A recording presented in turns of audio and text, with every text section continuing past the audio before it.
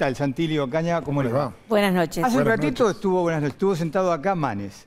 Muy Y bien. le preguntamos por, por la interna. Y él lo que dice es, la verdad que la gente de Juntos por el Cambio, si quieren ganarle al kirchnerismo, nos tiene que votar a nosotros, porque nosotros somos verdaderamente una alianza, como que ustedes es de un solo color político por el PRO.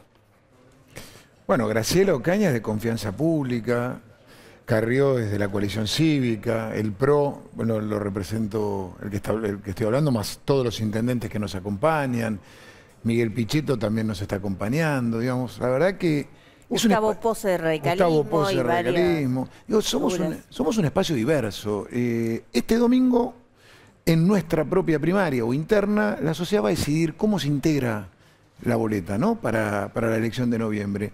Y cómo nos integramos para enfrentar los verdaderos problemas de la sociedad, que son los que estábamos discutiendo acá, la falta de trabajo, los problemas de inseguridad, eh, los problemas de la educación, los problemas de acceso a la salud. Son los temas que tenemos que discutir de una vez por todas y tratar de ir a resolverlos, de resolverlos. Eso es lo que tenemos que hacer. ¿Cómo, eh, Santilli, usted tuvo, digamos, un, rol importante en todo el tema de la pandemia como segundo en la ciudad?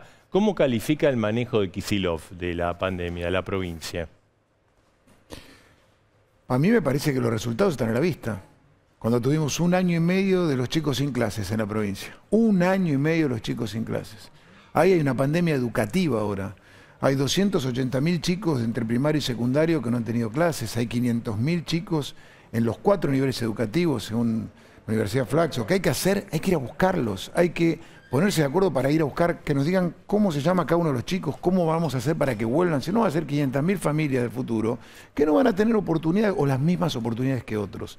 Entonces, a mí me parece que estuvo ausente, lejano de la sociedad, porque cuando vos estás lejos, no escuchás el problema de los comerciantes que te decían, queremos trabajar con protocolo, con cuidado, cuarentena inteligente, eh, escuchar a los papás, las mamás, los docentes, los chicos que querían volver a las aulas, los problemas de trabajo, hemos perdido 90.000 comercios, hemos perdido 41.200 pymes, entonces eh, eso es lo que yo me parece que no hubo gestión, me parece que fue mala la gestión.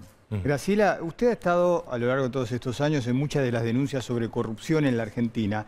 ¿A usted le da la impresión que las causas de corrupción han entrado, no en un letrado, pero han entrado como en un freezer este, y que no se va a terminar eh, de, juzgar a nadie en este país? Bueno, usted sabe que los tiempos judiciales muchas veces no son los tiempos comunes que un, uno como ciudadano esperaría. Y me parece que en este momento estamos en esas etapas que hemos visto en muchas veces en la Argentina, donde las causas se alargan, muchas de ellas están elevadas a juicio oral, pero esos Ahora, juicios Graciela, nunca comienzan. Hay muchos que dicen que, lo habrá escuchado, muchos analistas, colegas nuestros, dicen, no, Cristina quiere ganar porque de esa manera resuelve sus problemas eh, judiciales. ¿Es así? Y mire, tiene dos reformas pendientes, por eso es tan importante esta elección. Está pendiente en diputados porque el f- todos, el Frente de Todos, no tiene los números necesarios para aprobar esta ley, dos leyes. Una es la reforma judicial, que no resuelve los problemas que todos consideramos que tiene la justicia, que está lejana de la gente, que tarda, este, que debería ser más expeditivas, con procedimientos más rápidos, sino que lo que hace es nombrar una cantidad o crear una cantidad de cargos judiciales que cuesta una enorme cantidad de dinero y que no va a resolver el problema de fondo que hay que discutir de la justicia. Y la otra es la ley del Ministerio Público Fiscal, en donde lo que se pretende es un avance sobre el procurador y sobre los fiscales, violando la independencia del Poder Judicial, Sí. uno de los poderes garantizados en la Constitución. Nacional. Entonces, yo creo que eso puede suceder, Marcelo. Eh, si no tenemos una mayoría o si no reforzamos la cantidad de diputados que de nuestro bloque tenemos. Santilli, usted habrá escuchado por estas horas desde el kirchnerismo, desde, eh, este, desde, desde el Frente de Todos, decir que Juntos por el Cambio lo que está buscando es una flexibilización laboral, si tienen números en el Congreso, que va a perjudicar al trabajador. Yo lo voy a plantear de otra manera. Hace más de una década que la Argentina nos genera trabajo privado. Entonces, ¿por qué no nos sentamos en una mesa a discutir cuáles son las causas? Porque el efecto es el no deseado. El efecto es que nuestros jóvenes hoy en la Argentina se quieren ir del país. ¿Y se quieren ir del país por qué?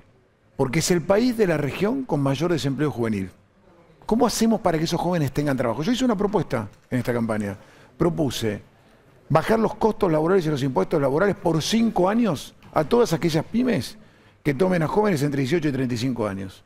Pero digo, es una propuesta ahora. Lo que está claro es que no estamos generando trabajo privado hace más de una década en la Argentina.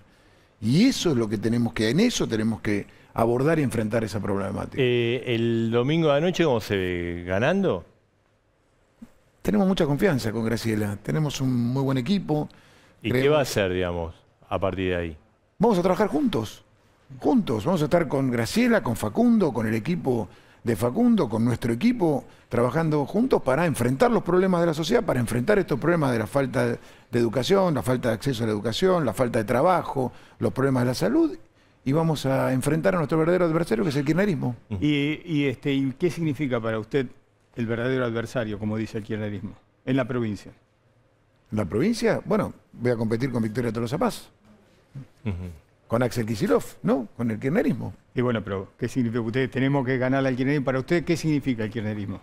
Para nosotros significa las escuelas cerradas, significa la no, el no avance contra la inseguridad, el no poner decisión política para enfrentar a los delincuentes, el liberar a los presos, la falta de trabajo, la falta de acceso a la salud, todos los temas que estamos discutiendo todos los días. Hoy, hoy lo hablamos más temprano, la ministra Frederick dijo que en la ciudad de Buenos Aires, usted estuvo a cargo de la política de seguridad eh, hasta hace poco, eh, había más homicidios en la capital federal que en, Santa Fe. Pero eso es mentira. Perdón, pero eso es mentira. Cuatro cada 100.000 habitantes es el homicidio en la ciudad de Buenos Aires del último año anterior, 2020. Cuatro veces más arriba es. Pero acá no se trata. A mí me parece una respuesta que, lleva a una falta de respeto a la sociedad y a una respuesta infantil.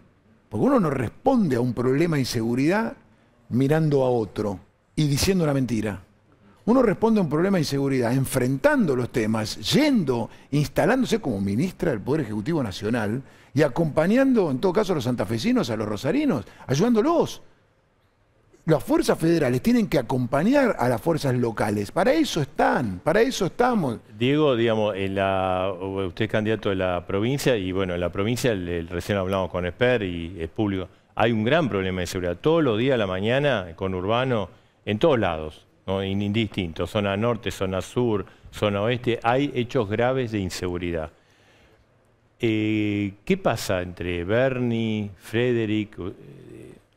Eh, yo siempre dije que le reconozco la actitud a Bernie respecto de, enfrentar los temas. Ahora, cuando vos tenés actitud, pero te liberan a los delincuentes, después hay que planificar. Vos tenés que. Nosotros hicimos con Graciela propuestas para un país que quiera vivir con su gente segura, con sus ciudadanos seguros, es un país que detiene a los delincuentes, que condena a los delincuentes y que los delincuentes cumplen la condena. Para los tres temas hemos presentado. Pero lo primero que hay que hacer, hay entre 10.000 y 15.000 policías en la provincia de Buenos Aires que hacen tareas administrativas, papeleo. Tienen que estar en la calle, porque formar un hombre y una mujer de la fuerza cuesta mucho dinero y tiempo. ¿No le gusta lo que hizo Bernie? ¿Usted a mí me parece que hay que poner a policía en la calle. Nosotros hicimos eso. Nosotros hicimos una policía con 6.000 policías en la calle. ¿Cuántos hay hoy? 19.000. 6.000 en la calle, pasamos a 19. No es que hay 19.000 nuevos o, 13.000 nuevos.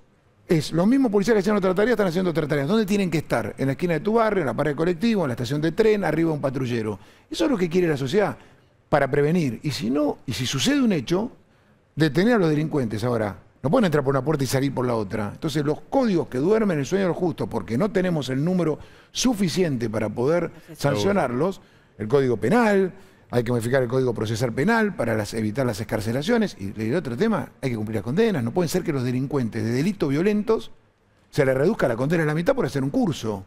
Entonces, entonces es eh, peor, que sea, peor que sea vudú, ¿no? Una cosa, Marcelo, porque acá se habló de la boleta única de papel. Sí. Eh, dos cosas. Una es que en el gobierno del presidente Macri se intentó este, eh, aprobar esa ley que tuvo media sanción en la Cámara de Diputados, pero nunca pudo ser aprobada en el Senado. Y nosotros hacemos esta propuesta hemos firmado un proyecto en común y esperemos que eso sea una realidad, porque aparte del tema del cuidado del medio ambiente, el dinero que cuesta y aparte creo que da claramente transparencia Sí, sí, al sistema. evita- evita- No puede ser. que alguna- limpia. No puede ser que a esta altura del siglo en el que vivimos tengamos que estar discutiendo si hay 50.000 fiscales o no hay 50.000 fiscales, que tengamos que hacer un llamamiento a cuidar las urnas. Tiene que cualquiera poder presentarse y que la sociedad decida y que Seguro. decida lo que sienta decir y que esté en la urna. lo Eh, que dice. Diego- Gracias. Los invitamos a firmar ficha el compromiso limpia. para debatir. Lo invitamos Sí, cómo no. A ver. ¿Cómo ¿Cómo no? no? a Diego Santilli, a ver, le, le decimos por dónde, por acá está, ¿no? Acompaña Ah, Graciela, acá. vení Graciela. Vamos, vamos, yo te acompaño. ¿Dónde firmamos? Ahí. Muy bien.